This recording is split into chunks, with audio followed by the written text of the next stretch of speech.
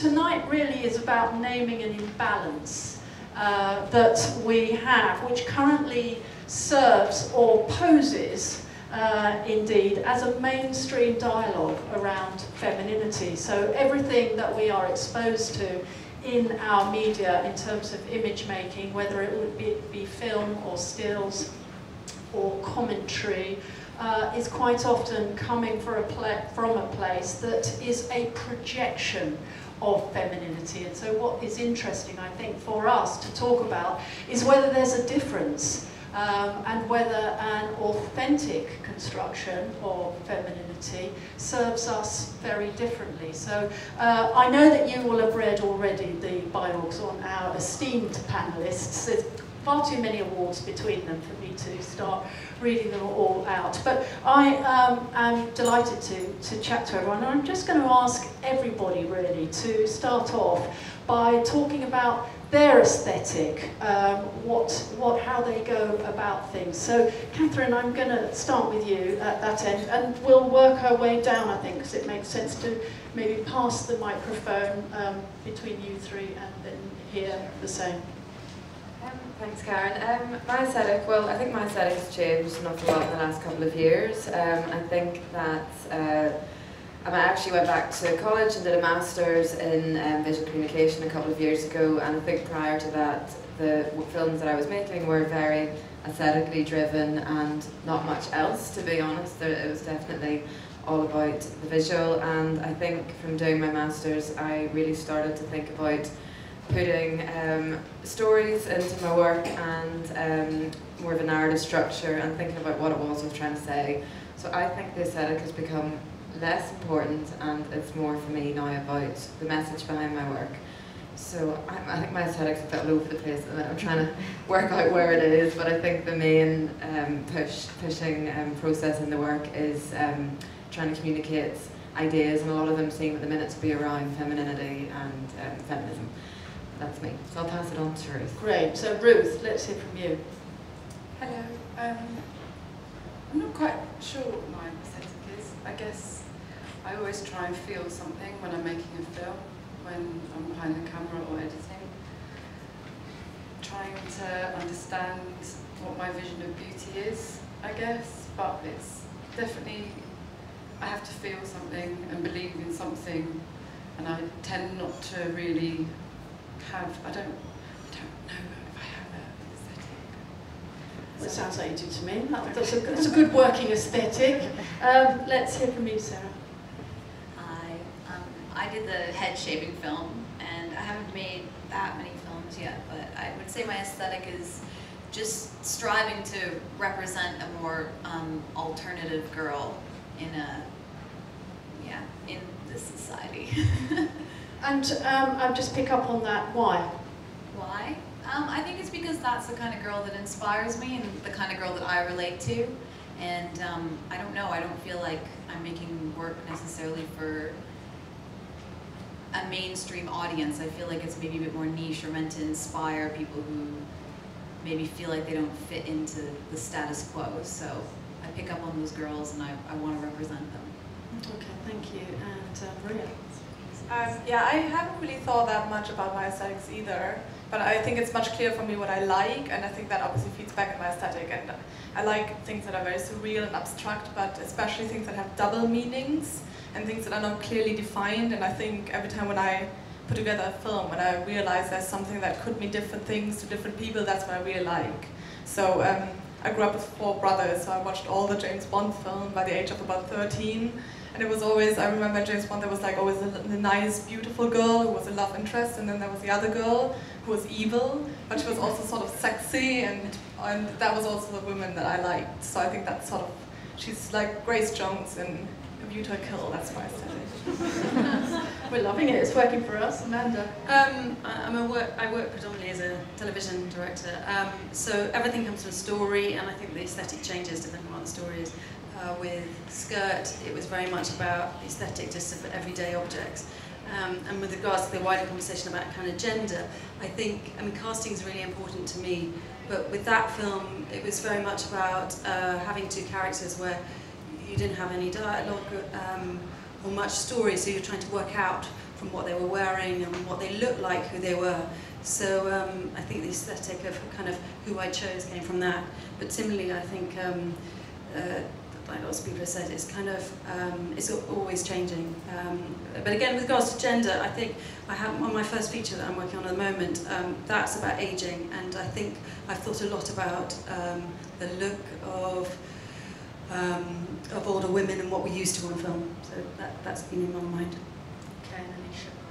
Well, um, yeah, I think I have to say the same thing about my aesthetic. It changes from film to film, basically depending on the subject matter that I choose. I think uh, one thing that all my films have in common, which I can say, uh, looking back at this film, which is one of my first films I've ever done, is that I'm probably not really interested in the mundane. I kind of like to take things out of context and make them a bit more, just like to interpret them the way that I'd like to see them, the way that I'd like reality to be, and um, rather than having it like it is. We've all sort of alluded to a certain extent to a kind of subtle need for rebel, or we've alluded it to it subtly. That's because we don't want to peak too early, really. Um, but, you know, we, we, we're talking about um, uh, a reality that we all work to, men and women, which is, is created as the reality, when in fact it's only one version of a reality, but, you know, women are educated to think that, that uh, there are rewards for uh, quite a rigid construction around femininity and possibly men too. And um, you know, how do we feel about that? Does it serve? I don't know if anybody wants to jump in and say how they've been affected by what they've watched. Um, you know, certainly Sarah, you talked about just wanting to promote a different kind of femininity. Uh, did, did you feel when you were looking around for representations of women, and let's, you know, let's get straight to the heart of the matter, uh, we're at London Fashion Week where women are represented over and over again, uh, and yet they are identikit, and yet they look as though they are all on a runway conveyor belt for femininity. There is no diversity. Um, certainly race is something that comes up as where is the diversity, age, size, uh, where um, you know, femininity is kind of multifaceted, is it not? Is that something that's important to you? Just because um, I made a film about a female bodybuilder and obviously it was a very important thing to me to show a different type of beauty and to explore different types of femininity. And um, with that film, also the idea of why strength or why muscles for women is considered something that is not socially acceptable or not sexy or not feminine. And um, I kind of feel that what you obviously see every day doesn't really represent a, a, lot of women. I, I mean, not saying that, like, for instance, muscles represent what a, a women should be like, but it definitely shows a different type of woman, and that is something that is very important to me. And I feel that often when I work like commercially, I am restricted, and I feel that I find myself in situations where I'm having to um, modify women so that they fit the norm or what people want to see, and I find that really appalling, and I find it hard to be part of, to be honest. And that presumably is one of the compromises that um, lots of creatives feel. Is that something that anyone else has experienced? Go on, dive in there. I tell you, it's going to be over quicker than you know. I definitely think in some of my um, television work, uh, in retrospect, I think I was guilty of kind of, a, of uh, I don't know, going along with a certain kind of object, objectification of women. I I, I don't think it's a just because you're a female director, you're not guilty of it. Um, but definitely as I've got older, I just wanted to question it. I think it is a kind of hard, sometimes if you're, uh, for me, definitely with drama, it's dependent on script. Um, it's hard to know how to challenge it, but um, I, I, think there's a desire to see different people, so it's there. It's just um, making sure you just don't uh, take an easy option. We worked with um, 450 students for Diversity Now last year across 34 colleges and we asked every single student whether they thought seeing a more diverse range of role models when they were growing up would have improved their self-esteem, and 92% said yes. So there is enormous power for image makers um, to recognize that um, there isn't one community of women who are hypersexualized, available for sex at all times, scantily clad, submissive, and eager to please. That is a type of femininity, but it's not the femininity. Is that sort of something that you feel um, in wanting to recreate different types of femininity? You're really up against. And you know, any minute now, if we don't kind of get some fireworks going, I'm going to have to start talking about Miley Cyrus and Robin Thicke. So, so um, you know, my, my question to you is whether you feel you're trying to, uh, you know, progress in a way that is uh, aesthetically, ethically, and morally more supportive of women. Um, I think, I mean, when I was younger, the whole, uh, I can see how it affects the self-esteem of young girls, you know, to see a sort of standardized form of this is beauty and you know if you don't match those ideals then you're not beautiful. But then from a sort of filmmaker's perspective in my 20s what shocks me really about the whole you know idolized standard portrayal of what beauty is in mainstream is that it's just really boring you know and I think that was the first thing that made me want to do um, something else I think the moral and the ethic um, reasons behind it, they came with it, but my initial instinct why I wanted to put, because I've done this film, you know, where I put a 55-year-old nude model in it, and she was dressed in latex and very, you know, sexualized clothes, and it wasn't because I wanted to do a big, sort of more message, it was more because I thought, you know, I'm, I'm presenting latex clothes. If they're worn by a 17-year-old, it's just not believable. So I wanted a woman that was more sexually liberated and strong and powerful. I don't think, you know, a thin, tiny 17-year-old model could do the same thing. Why then, throw the cat amongst the pigeons, does that seem to be the offer permanently for women to look at from mainstream image makers? Go on, Ruth. um, I, I don't know, it's really hard, I think, for me to talk about other people's work. I don't, I don't know, I think it's really hard. I mean, personally for myself, what I'm offered up as a woman, not as part of my job as a filmmaker, I tend to sort of not really look outside into that world, if I can, possible, and look at paintings instead or cartoons. Not go, not cartoons directed for young girls because I think they're really, really wrong and kind of like the Miley Cyrus ma magic powers, short skirts, big boobs, which is completely wrong. But when I make films, I don't think about femininity. I think about power, and I don't want a power that's greater than a man. I want equal power, and every time I make a film, that's what I try and convey, and I think it's something that's here, because I have a really sexist father, so it's always been here, and I've always that's always been my message, and hopefully will always be my message. But it's not something that's overtly, aggressively stronger than a man. It's just equal and powerful, and not feminine.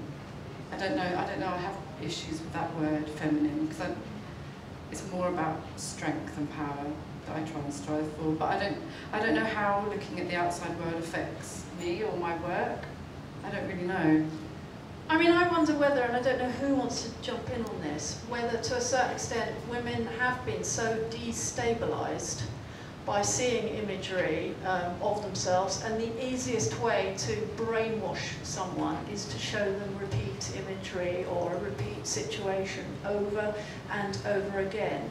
Um, so that, you know, we have a situation where the, uh, most of the imagery that comes out of London Fashion Week is Caucasian. Um, and so we show uh, a reality, um, a reality, um, that is uh, mostly cast by Caucasian casting agents, photographed by Caucasian photographers and starring Caucasian models, but in a global marketplace where the consumer is global and diverse. Does that serve the industry? You know, what, where are we questioning that? And I, I suppose I'm, I'm sort of being um, provocative here and saying, why aren't we questioning that female viewers need uh, a lot more um, uh, intentional uh, appro approaches around femininity and the diversity of femininity when they're given so little uh, currently in mainstream image making. Um, does that, you know, Ruth, I'm, you were saying that you don't think about it, you don't have to come back to me on that, but um, I'm wondering why we don't think about it more and harder. I think it is because we're just so used to it. And then the thing is, is like, it's not like, well, I have to come back to my commercial work. It's not like I'm not trying to subvert it in a way and um, consciously choose other types of women. But it is, I'm constantly confronted with, no, this is too ethnic, or um, even if you cast, like I, I had a situation where I cast dancers that all had very curvaceous bodies, and I was told to make them thinner. And I was kind of thinking, well, if you cast dancers for the ability to dance, they have a certain body type, why, you know, I was trying to fight this, but I didn't have the power to. Like, kind of, I felt that I was, the position that I was in didn't allow me that. And I think that that is, um, a big thing is that we're working within an industry that is uh, built like that to generate money and because it is a certain unachievable kind of ideal of femininity that we're presented with in order to buy products, in order to, to strive to be a certain way. Um, that that industry works. So I guess that when confronted with other ideas or with people going like, well, why can't we switch that up? They don't really want that. And it's not, you can try, but sometimes it's not in your power to change that. Um, and uh, so I suppose I'm look, then wondering what it takes for there to be a cultural shift. Um, you know, I'm, I'm, not looking for instant revolution, but how do we um, shift it? Uh, how do we budget, shove it, you know, crash through it? I think actually starting with conversations like we're having tonight, I think actually getting everybody in one room and expressing experiences everybody's had and how appalled they are with them is a, is a beginning and um, trying to um, raise awareness that this is the restraints that are put on female image makers and the kind of requests that come from clients aren't um, aren't acceptable really for this day and age. And how we want to represent women as women. And I think it's just keep chipping away and it's going to take a long time. But if you keep going and keep going and keep saying no it's going to eventually have to shift. And I think um, going back to what you said about the music videos, I mean, I don't know what the rest of you think, and we were talking about it, maybe doing a show of hands later, but you know, there's about five films that came out this summer that really left me cold and sad and furious.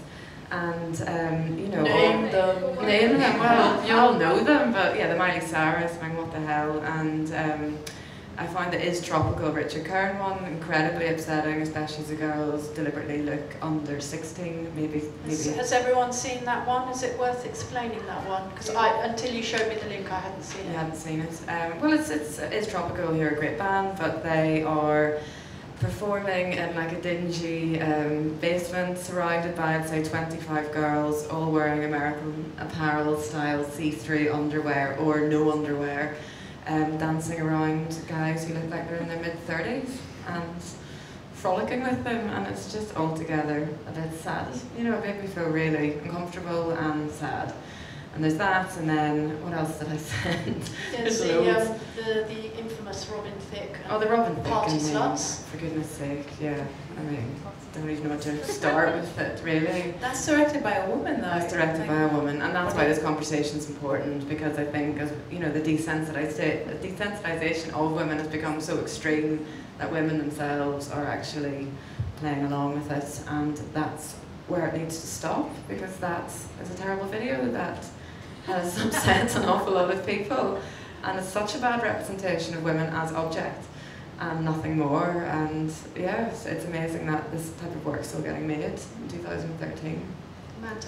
Well, I just, I, I completely agree, but it's really interesting. I thought the comment from Zaha Hadid about the fact that she always described herself as a, an architect, not a female architect, I, that really resonates with me. And kind of, I always think of myself as just a director, and it, it's, um, it's taken me a while to start looking at kind of female issues in my film because to begin with, it was about making films. Um, and, and I think that there's always a danger that because we are female directors that we should be addressing this, um, but it's definitely for all filmmakers to look at. So. No, I think that's a good point. I think there's a, another point that I want to pick up on, which I think um, Elisha you made, or maybe it was Maria, um, that when you go for a pitch, that uh, quite often the room um, is uh, includes only one woman and the rest are all masculine ideas and a woman is expected to represent everything there is in femininity um, whereas uh, the masculine ideas are given uh, lots of diversity which of course would be the same with race which I think is important to remind ourselves. You, you hear it on the news all the time the black community as though there is one community, lots of different white communities, um, and that's something uh, for us all to be aware of, is that there are, you know, many, many diverse opinions, and maybe being upfront about that is the first thing that we can do, um, you know, as women, being entitled to have lots of different opinions. Maria? Um, no, yeah, that is a point that I've been actually talking to with Kathryn and Elisha, and um, we've we've figured out that it's um, especially Elisha, you pitch a lot, and um, I think Kathryn as well now. Like um, that when you pitch for an idea, there are a lot of, you know, like basically 20 people are pitching, and then they've got those two or one woman woman that is pitching, and she's representing the female perspective of a filmmaker. But in the end of the day, she's obviously representing an individual perspective. There is no female perspective. That is an idiotic thing to say.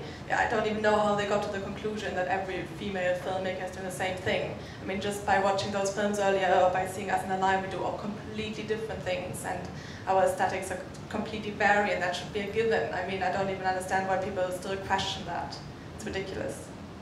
In terms of way forward, uh, you certainly work with lots of young filmmakers, uh, Kathryn. I don't know if others do too, but, but how can we encourage the next generation of creatives not to take on this kind of set mindset?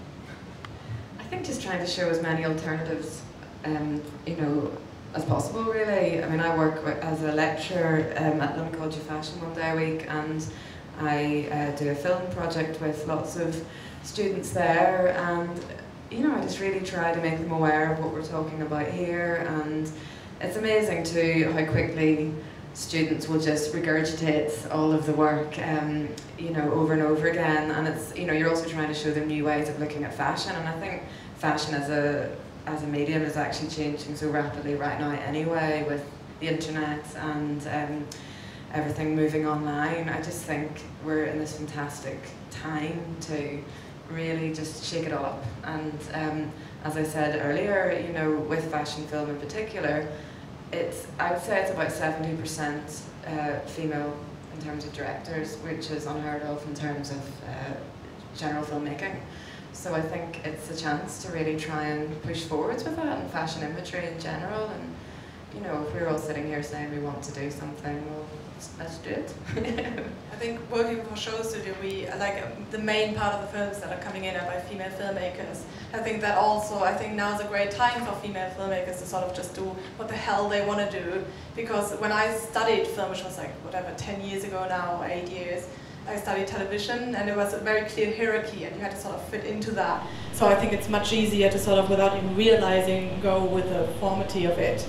But nowadays, you know, the, the things shifted around. You know, it's not a big company with a film team of 30 people anymore. You can do a fashion film on your, with yourself. You can do it on an iPhone, or you can do it with just having a great idea and, and you know going out in the fields and filming a friend.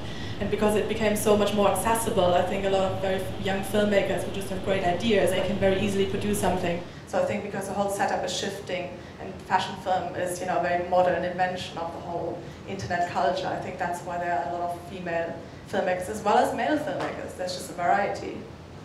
Um, I mean, we have clearly have a situation which editorially there's some amazing imagery coming out from a much more diverse, a much more diverse perspective. But then we hit up against um, the co commercial, the client, who uh, quite often is not aware of their own um, uh, uh, kind of requirements when they're casting. So when they begin to cast femininity or they begin to cast a crew, How do you feel that that's a space that can be um, challenged uh, in a way that is um, uh, allows for progress?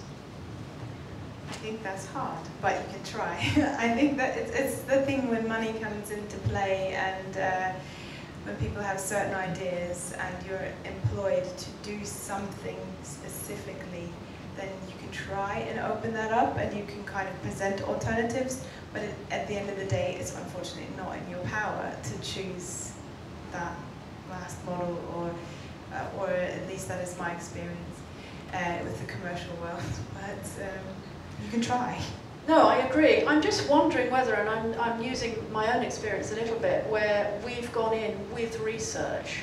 We took um, research from the Judge Business School at Cambridge University, which was three years of cultural, cross-cultural research um, uh, done by Dr. Ben Barry to prove uh, in business conditions that when women are shown more diversity and role models that they feel uh, they can make a connection with, they are more likely to display an intention to purchase. And that's a kind of business language that motivates the people in charge. And I just wonder whether there is a space in which um, filmmakers can begin to gather that sort of argument that you know promotes um, you know their, the, the empathy that women are able to feel when they are cast not as the hypersexualized party slut um, but maybe somebody who has an interior who is not viewed as an exterior that that moves them towards more loyalty for the brand for the product um, and that may be a space that allows for um, more shift. I don't know. Did I just say something that seemed wholly unreasonable there? No, I think it's, it's about being brave as a filmmaker, and, and I, this is not this issue, but it's, sort of, it's a similar thing. Um, about a year ago, I turned down a television um, series because I felt the scripts were too violent, um, and I didn't go in and interview for them. Um, and then the show came out and there was quite a lot of criticism. And then when the second season came, I went and, and met and kind of said what I would have liked to have done. And they said, why didn't you come in for the, the meeting? And I, and I think, I mean, everyone wants a kind of a more diverse, interesting kind of uh, kind of group of films being made. So I think it's about sometimes being brave about the conversation. Absolutely, sometimes there's there is opposition to that, but uh, I think the more conversations are had about it in, in those um, commercial arenas, the better, definitely. Is there room to just outright challenge? Yeah. Well, I mean, just going even back to the Selfridges film that we showed with um, Caryn, who's in it, um, that was commissioned as a fashion film. And, you know, when I was brought in to meet the creative team, it was very much like we want to do a fashion film around female tailoring. And they were also planning this huge female initiative in the store, and it just made a lot of sense to then go back and say, well, how about we actually don't just make a standard fashion film? How about we have amazing women who speak and can talk about incredible things that they've done while wearing the bespoke? And the creative team at Selfridges are an amazing bunch of amazing women, and they were 100% behind it and were fantastic clients.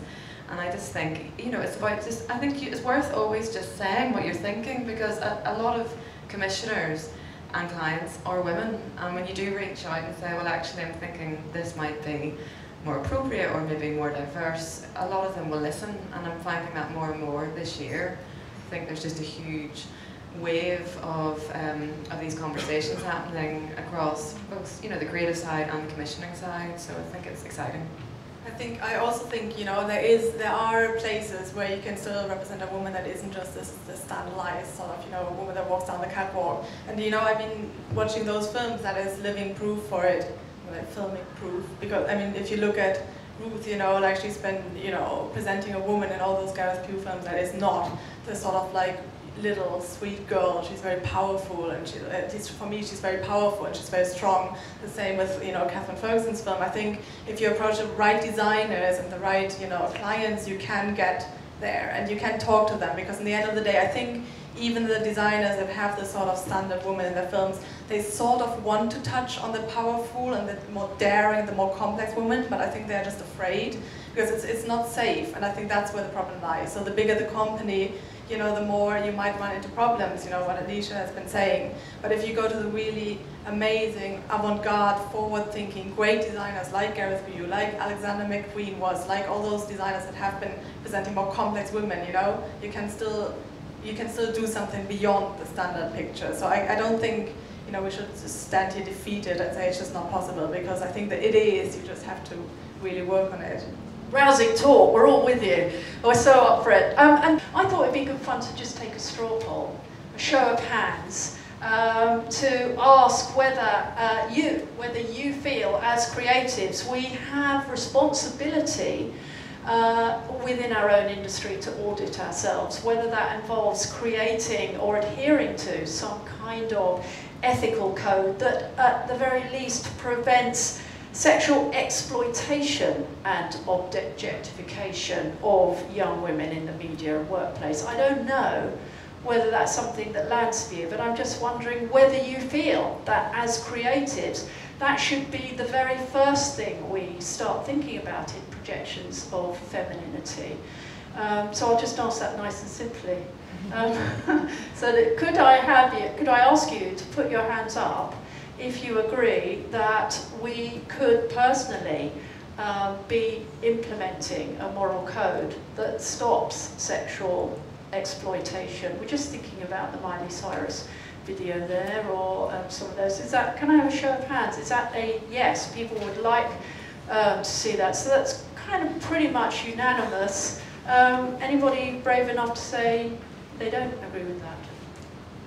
Um, so, so just for the record then, that's unanimous, unanimous. As creatives, we would like to see some boundaries imposed in the projection of femininity. Maybe we would like more authenticity and we would like more diversity. Um, and on that note, um, ladies and gentlemen, that's the very same um, question that a brand new collective of men and women asked themselves 40 years ago. Back then they called it feminism. I wonder what you will choose to call it now.